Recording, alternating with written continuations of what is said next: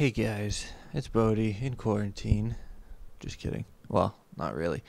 Um, so I couldn't figure out how to get the little pop-up window thingy frickin' notifications for whenever my friends play a game while I was playing Doom. Pissed me off. I thought I turned it off. I didn't. I've watched like 18 videos trying to figure it out, and it's all old stuff. Uh, it doesn't really show you what to do. So I went to settings, and there's nothing in here about that. You can turn off the uh, in-game overlay or whatever, but that's not what I want to do. I want that accessible. What I had to do was go to friends. Actually, here, let me go to friends, open your friends list. Bada bing, bada boom. Click the settings. And then your friends list. Um, sign in, blah, blah, blah, blah, blah. Chat. Nope, nope. Notifications.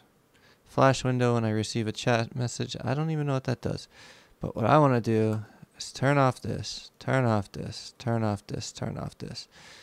And the sounds because I don't want those popping up while I'm gaming. I guess you can turn them back on, but there's no option. There is no option to do this only when you're in a game. Like I like it on my normal, I like it popping up when I'm just editing videos and crap, but there's no I don't know why they don't have an option to say, "Whoa, when I'm in a game, don't let this happen." But but they they they don't. Um so that sucks. But um, there you go. That's that's pretty much. I mean, I, there's maybe there's a way to set, you know, if you set yourself as away or something. But when you're in a game, it should tell you that you're. It should tell it that you're in a game, and you, if you're recording, you don't want that popping up.